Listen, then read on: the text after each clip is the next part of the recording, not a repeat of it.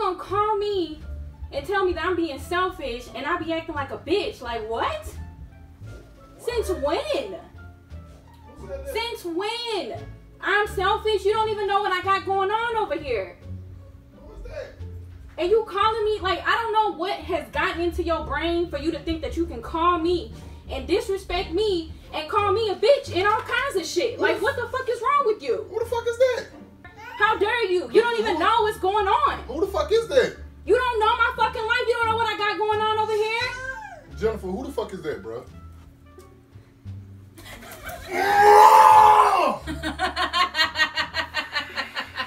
Bruh, get the fuck on, man. You play too fucking much.